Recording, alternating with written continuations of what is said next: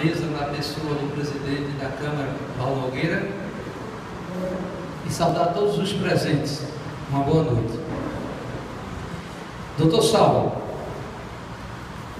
o senhor é bastante merecedor desta homenagem. Quero parabenizar também ao Edmilson Zacarias por ter tido essa iniciativa. Mas eu quero pedir um favor ao doutor Saulo. Eu quero pegar uma carona nesta homenagem. Observando aqui a plateia, eu vejo a nata ou elite política da nossa cidade. Vereadores, secretários, pretensos candidatos a prefeito, pretensos candidatos a vereadores.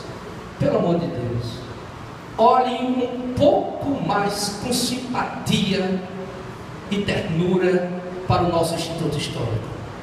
O Instituto Histórico é o arquivo vivo da nossa cidade. Você só poderá sentir o que é o Instituto nos fazendo uma visita.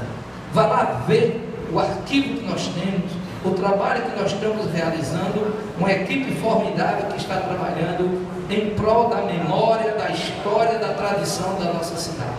Portanto, os futuros gestores da cidade que estão aqui presentes, pelo que eu vejo, pelo amor de Deus, olhem um pouco mais com simpatia para o Instituto Histórico. É tão pouco o que o Instituto pede, e é tanto que ele oferece e tem a oferecer à nossa cidade.